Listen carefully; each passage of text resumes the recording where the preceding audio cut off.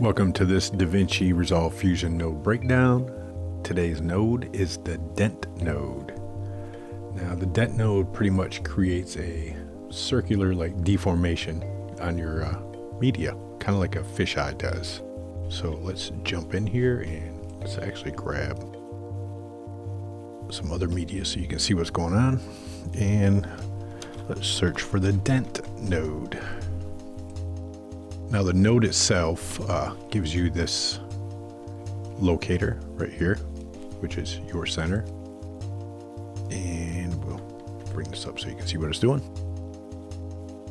And over here, we can change our dent type. We've got dent one, kaleidoscope, dent two, dent three, cosine dent, and sine dent and you can change your size, make it bigger or smaller, and you can change the strength of it. So all this is keyframeable, so we can say, go to the beginning and drop our strength, go to the end, raise our strength, and we get that type of pattern. And again, with the size, we can change it. So can make some cool patterns and change your type.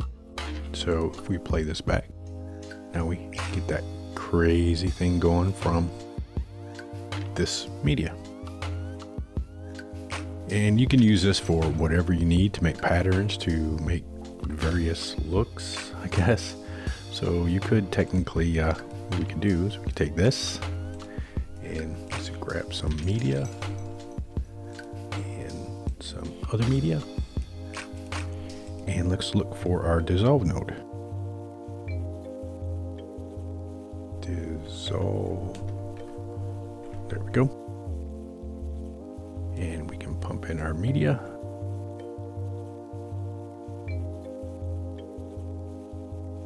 And we can bring this into our gradient input.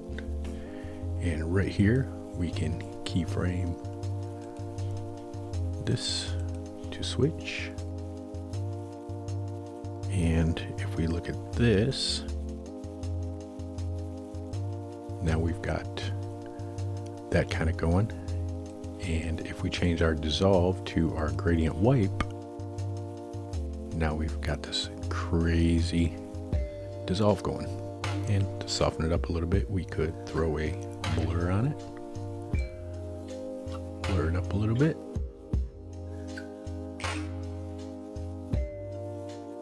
So you can do stuff for like transitions or you can, what mean we got here? Oh, we can add a dent here. Dent. And we could uh, say, go on our eyeball. Let's watch what we're doing. And let's change the size because you can resize it right here. Stick it on our eye.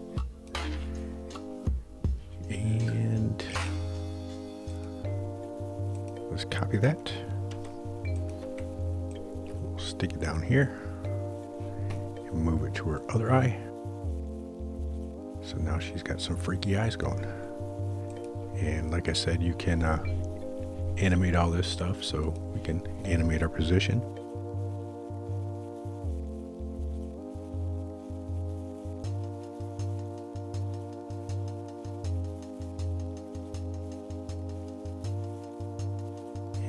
Same with this one, animate our position.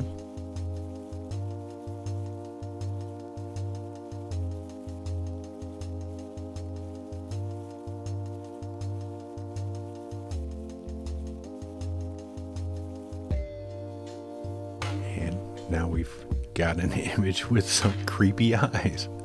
So that is the dent node. I'll see you in the next node breakdown.